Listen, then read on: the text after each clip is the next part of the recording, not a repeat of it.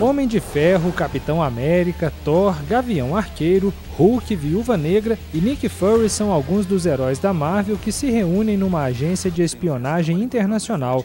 Eles são conhecidos como os Vingadores e estão unidos para defender o planeta Terra de ameaças intergalácticas. O grupo de heróis vai ter bastante trabalho quando um vilão chamado Loki retorna à Terra com a intenção de dominar os humanos. Ele rouba um cubo mágico que lhe dá superpoderes para querer ser o soberano do planeta. É aí que o grupo de habilidosos heróis entra para usar seus poderes em defesa da Terra.